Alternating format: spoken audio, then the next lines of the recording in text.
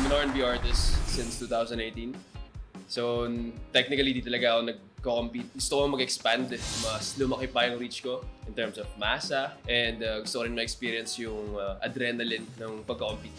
So, my main goal here, kung bakit ako nasa The Clash is to build my own legacy as an R&B artist, as a singer-songwriter. I'm here to perform, that's it. And yeah, I'm here to win also. Sige, magiging totoo na ako. Gusto ko maging isa sa mga milyonaryo na R&B artist dito sa Pilipinas.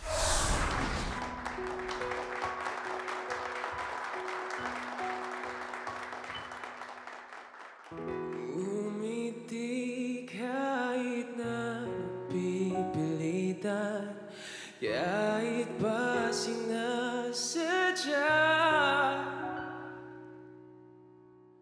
Mo akong masaktan paminsan-minsan. Bawat sandali